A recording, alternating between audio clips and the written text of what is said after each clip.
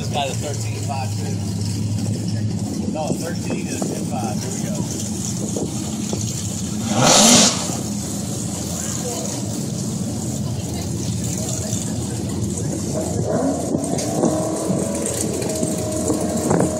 Oh.